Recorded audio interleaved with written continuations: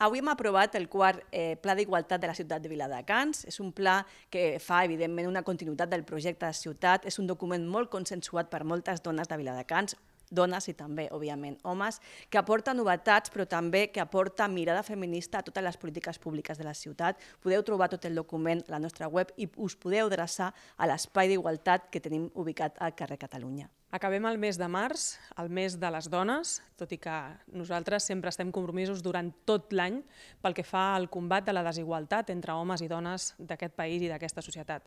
Per això ens hem sumat a totes les iniciatives preses en aquest consistori, des del manifest de la, del dia 8 de març fins al pla d'igualtat que s'ha aprovat avui en el consistori de manera conjunta en participació de la ciutadania, de totes les forces polítiques i amb una gran feina de les tècniques.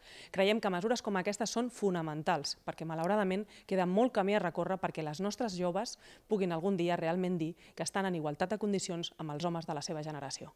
En el pleno de hoy hemos participado en la lectura del manifiesto del Día Internacional de la Mujer, que se celebró el pasado 8 de marzo, un día en el que hombres y mujeres tenemos que seguir eh, reivindicando la igualdad de derechos y de oportunidades. También le hemos recordado al equipo de gobierno que no hemos aprobado su presupuesto del año pasado porque era un presupuesto que incorporaba una nueva subida del IBI, porque incluía la compra de más radares para la ciudad, porque quitaron las ayudas al comercio y a la hostelería y porque siguen sin resolver eh, cuestiones estructurales de la ciudad como son la falta de equipamientos.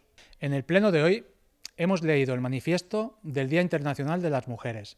El 8 de marzo es un día de reivindicación por la lucha de los derechos, la igualdad de oportunidades, la equidad y la justicia.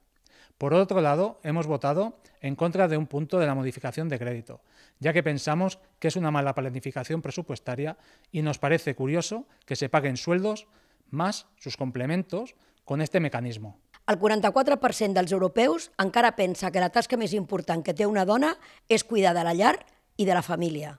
I la Unió Europea reconeix que encara no s'ha aconseguit la igualtat en cap país europeu.